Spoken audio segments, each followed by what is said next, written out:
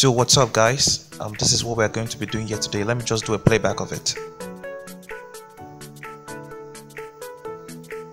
So let's just jump right into what we're going to be doing here today.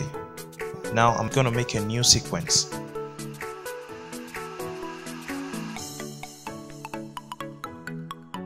So I'm going to be using DSLR 24 frames per second.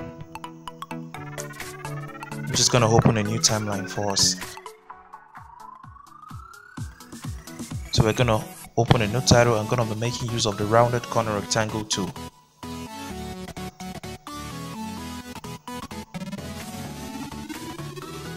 So actually we'll be making just one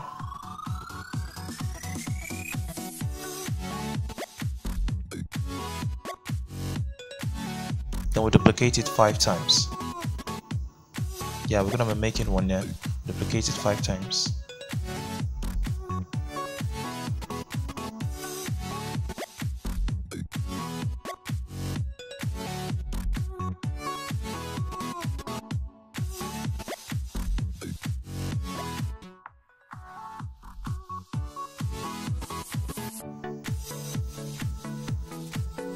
so you can change the property however you like then. You can change the color to whatever type to whatever you want. You can change the color to whatever color you want. Either red yellow green whatever color of your choice.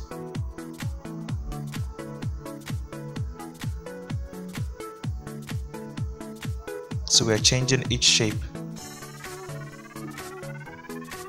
to a different color but make sure the last color is the color you want to end your animation with.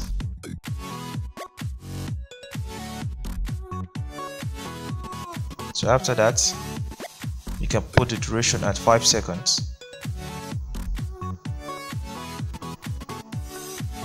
Yeah, make sure it's 5 seconds. Or if you want your animation to last more than that you can probably put it at whatever time you want. Either 10 15 seconds depending on how long you want the animation to last.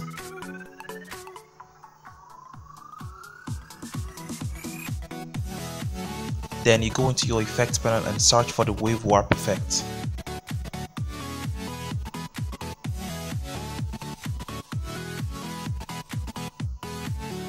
Yeah then you apply then you apply your wave warp effect on the title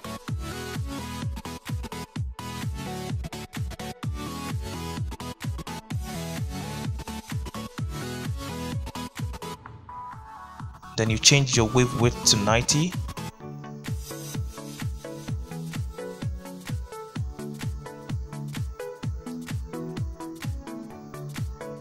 and the height to 18 I think we're good right now. Let me just do a playback of that.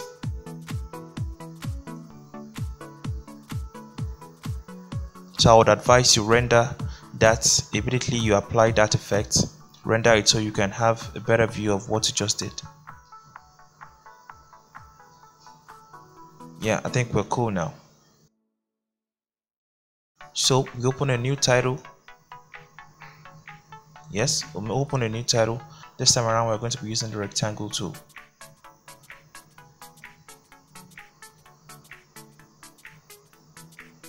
And make sure the color of the rectangle is the color you want your animation to end with. Make sure that's the color you want your animation or your logo to end with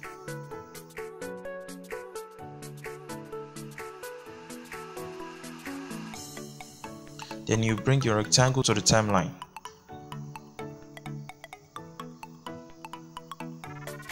And make sure the second rectangle shape is under the first one. It's under the rounded corner rectangle shape.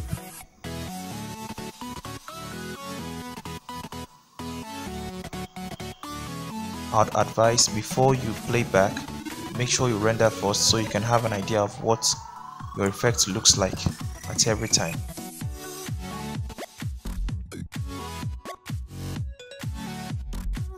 Copy the attributes of the first title then paste it on the second title.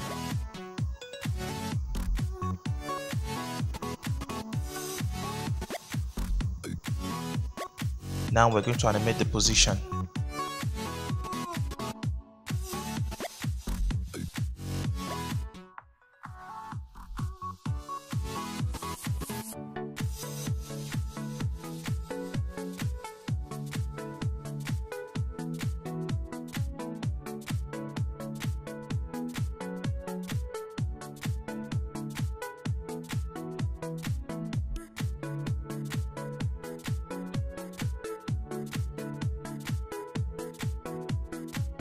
the reason why the rectangle shape is like this is because I added a wave warp effect before pasting the attributes of the first clip.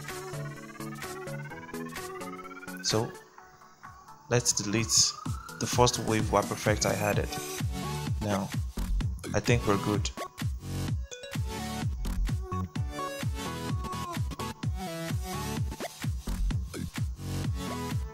So now I would like us to increase the height that rectangle shape of the second rectangle shape that we did.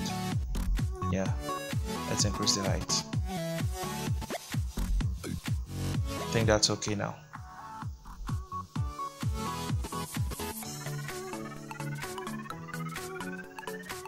So now let's animate both both shapes together both titles together so they can appear at the same time.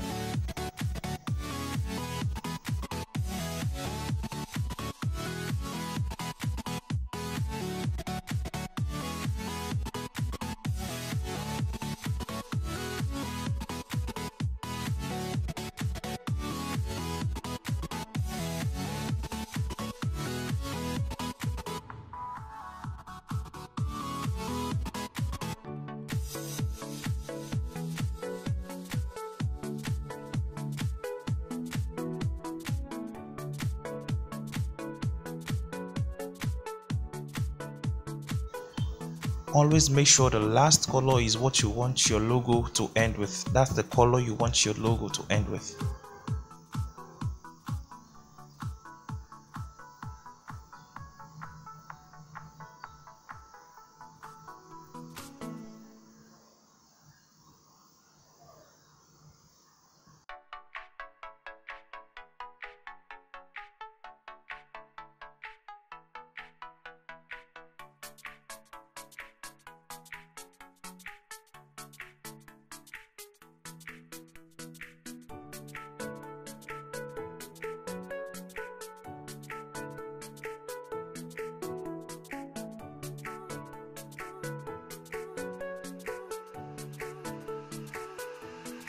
so now you select the two titles then you right click and click on nest to match the two titles together.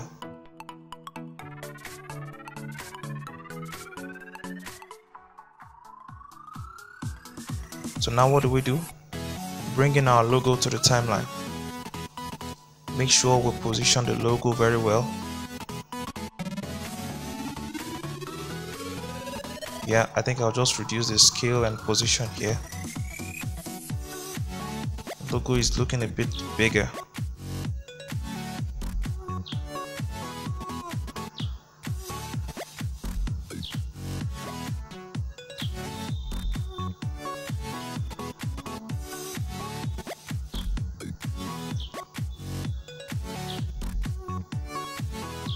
Now we search for the track matte key effect, track matte key.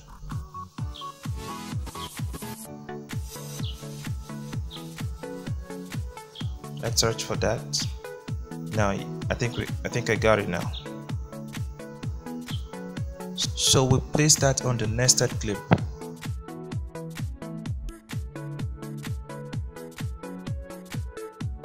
So after applying that, so we change our matte to video 2 then change from matte alpha to matte luma. So this is gonna help us hide our video inside our logo. So I think we're done.